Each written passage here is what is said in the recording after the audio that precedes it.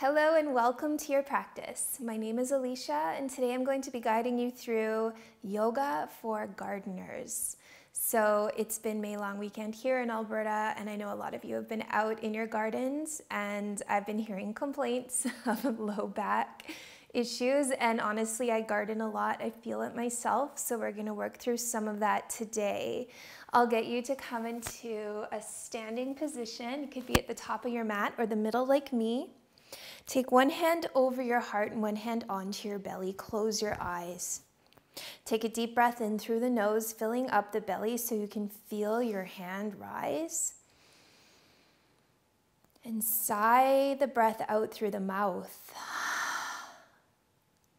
One more, just like that. Deep breath in through the nose. Exhale, sigh it out. And this time in through the nose and out through the nose.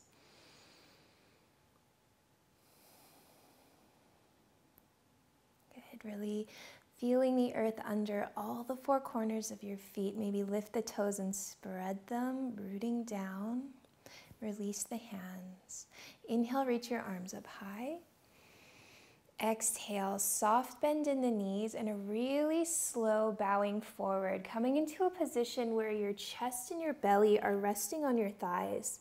Bring the hands into opposite elbow crease and let the head be really heavy here. Let the arms be heavy, supporting your back through the resting on your thighs position. So, for some of you, that might mean that you need a really deep bend in the knees and that's perfectly okay. We want the back to feel supported and we want gravity to be working for us. So, lengthening through the top of the head, letting everything be heavy, letting the spine elongate through the work of the gravity.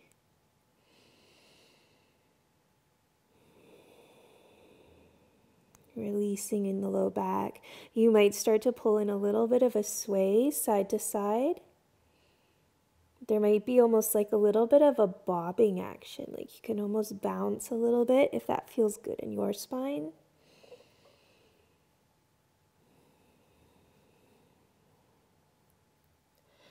Good. Slowly starting to bring yourself up. Keep that bend in the knee as we come all the way up to standing position again.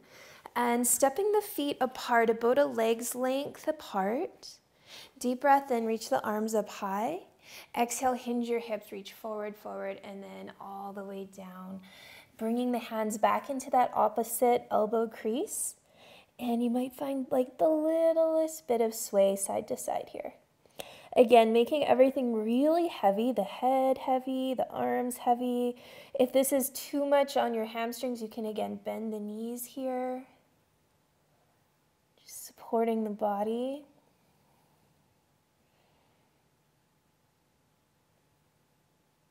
Good. Release the hands to the floor and walk your hands towards the right foot, pivoting both of your feet to the top right side of your mat. Wiggle the right foot over. So we're in this lizard lunge with the back knee lifted, planting down the palms, lifting up the heart. Good. Can lower the back knee down here. Flex up the right toes and open up the right knee. Keep digging the palms into the floor, lifting up the heart, leveling your pelvis closer to the earth. And deep breaths there. If some of you need a little bit more engagement here, you could walk the hands forward. And keeping that beautiful breath flowing into the belly so you can feel it moving.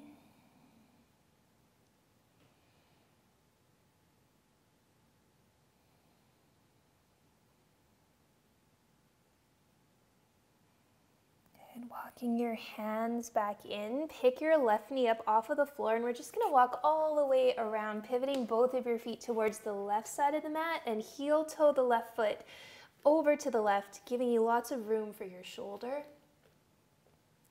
Keep the right knee lifted for just a beat here as we lift the heart, look forward, really lengthening through the right leg. Then lower the right knee down. Flex the left toes up and open the left knee. and taking any, any little um, adjustments here that you wouldn't need, like maybe you want more engagement, you'll come down a little bit, maybe onto the elbows, or maybe it's just walking the hands forward a little bit. Just taking what you need from the posture.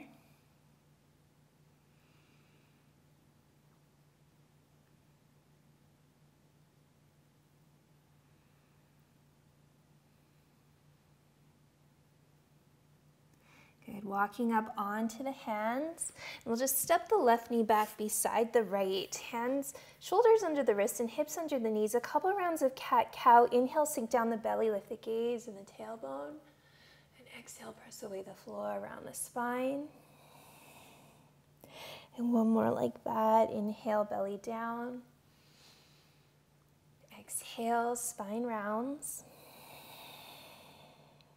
Good. And then coming all the way onto a seat. And extend the right leg long. Pull the left foot to the inner right thigh. Flex up the right toes and turn your torso over the right leg. Reach high the hands. Deep breath in here. Exhale, folding over the right leg into Janu Shirshasana.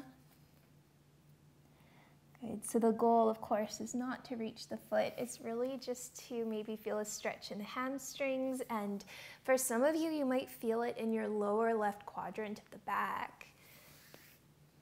And it's not really anything to be alarmed about. It's something that it is interesting to notice. That's all.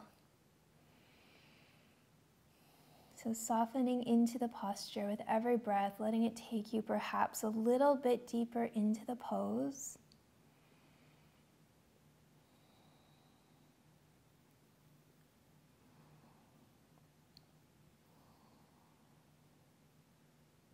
Good. Inhale, rising back up. Step the left leg over top of the right. Good. Plant the left fingers down by the left hip. Inhale, reach up the right hand. As you exhale, big twist towards the left. And you can use that right elbow against the left thigh just to grow a little bit taller. And twisting yourself a little bit deeper. Every time you breathe in, see if you can grow taller in the spine. And every time you breathe out, you might take your gaze a little bit more over the left shoulder.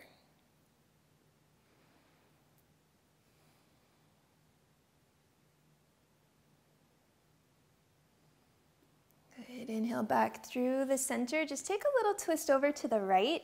Just a little counter pose. And then extend the left leg long. Pull the right foot to the inner left thigh. Torso turns over top of the left leg and reach the arms up as you breathe in. Exhale, breathe out, fold. Good, and you might take a moment as you're here just to compare the feeling between the right and the left side. If you notice a little bit more tightness in the legs on one side or a little bit more tightness in the low back on one side, it's just something to become aware of. And it's also important to be aware that most of us have some imbalances in our bodies.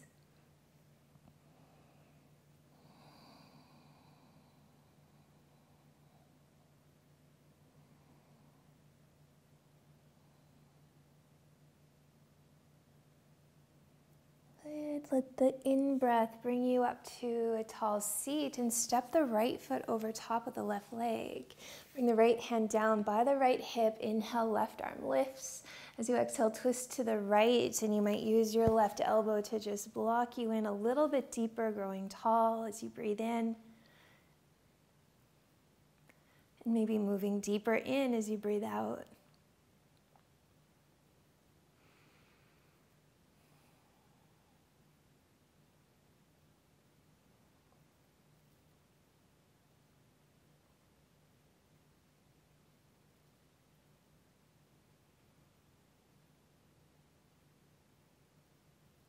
Good. Inhale back through center, nice and tall. Exhale, just a little twist to the left. Good. And coming back through the center. Coming onto your back now. So just coming down and bringing the, bringing the ankles, the heels, just close enough that you can maybe graze them with your fingers And start to round the small of your back towards the earth while lifting up the pelvis gently. So you might just notice that when you do that, and it's kind of like you're pulling the rib bones in towards your hip bones, there might be a little bit of a relief in the low back um, tension just as you do that, just in that lengthening. So let's inhale, lift, lifting the belly, dropping the hip bones towards the floor like we're widening the space between the, hip, the rib bones and the hip bones. So you're arcing the low back. And then slowly exhale, rounding the small of the back into the ground again. You might lift the pelvis just slightly off of the earth. Good, and then releasing it, coming back into that little arc in the low back, pressing the pelvis into the ground, lifting up the belly. And one more time, exhale, rounding the small of the back into the earth. Good, and inhale, opening, reaching the belly up, dropping the pelvis lower. Good, and release it back into a neutral spine. Pressing into the soles of the feet. Start to round the pelvis up like we're pulling the rib bones in towards the hip bones and then we're lifting really slow, vertebrae by vertebrae, all the way up, maybe pressing into the feet so we can roll into the shoulders. And then really slowly as you exhale down, vertebrae by vertebrae, pressing the small of the back down into the floor. And then lifting the belly, pressing the hips down. So you have that little arc in the low back, and then exhale, press that arc down, lifting slowly the hips, pressing into the feet, coming into little bridge pose. Exhale, rolling down the spine very slowly. Once again, making that little arc more prominent in the low back, lifting the belly, and we'll do it one more time. Exhale, pressing the small of the back down, rolling up little by little into bridge, and little by little releasing it back down, nice and slow.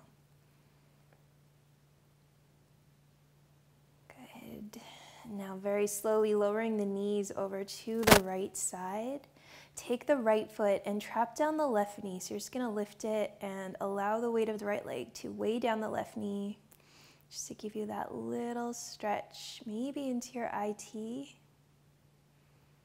might feel it a little bit in the hip flexors.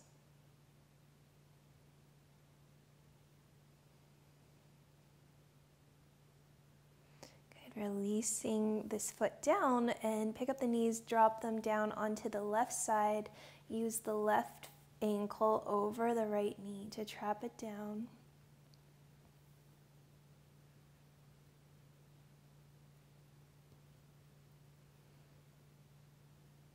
Nice big breaths into the belly. Relaxing, releasing anything that's ready to go.